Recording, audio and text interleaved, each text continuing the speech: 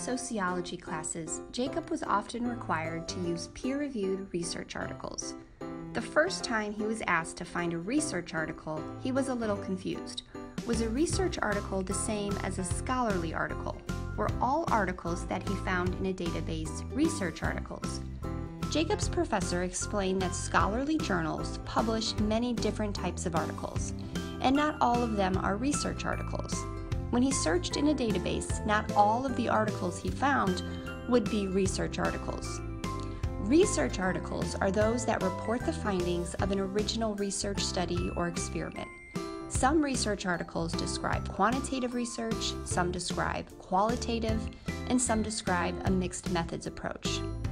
Another type of article often found in scholarly journals is known as literature reviews.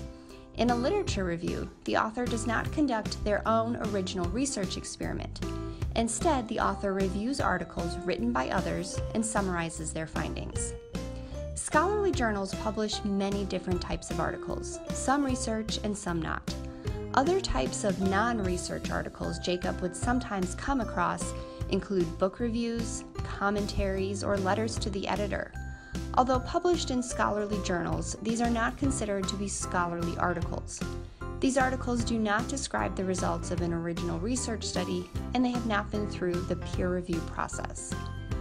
At first, Jacob sometimes had difficulty determining which type of article he had found.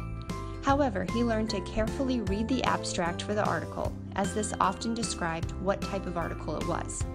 He also realized that research articles often have a specific format, with clearly labeled sections, such as a method section, a results section, and a discussion section.